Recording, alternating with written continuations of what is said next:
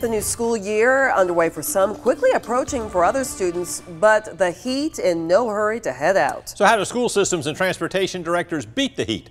Courtney Jacobazzi takes us to Laurens County to search for some answers.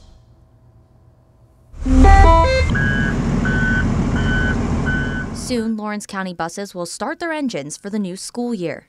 It was dreadful. I hated it. Inexperienced Hunter Clay is glad her little sister won't have to worry about this year.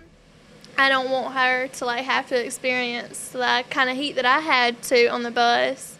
Buses that can run a high temperature. That's what a bus will feel like on a typical day sitting at school with the windows up.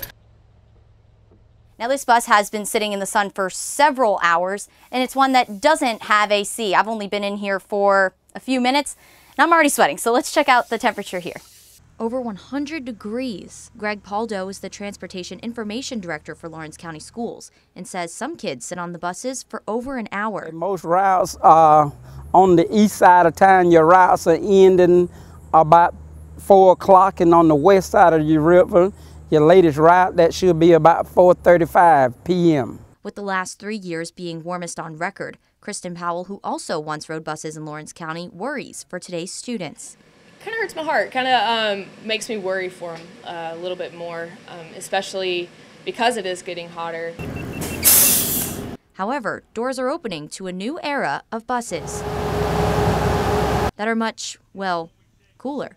So this is one of the newer buses, the one that of course comes with AC installed. Let's compare the temperature of the seats in this bus with the other one. Around 78 degrees. A bus without AC has a price tag of around $80,000, but one with air conditioning? With the air conditioning, we paying about 91000 In Bibb County, 80 buses have AC. In Houston, only a few. For Laurens County? Over half of them got air that's running routes. Turning down the heat. No kid likes to feel like that. And turning up the AC.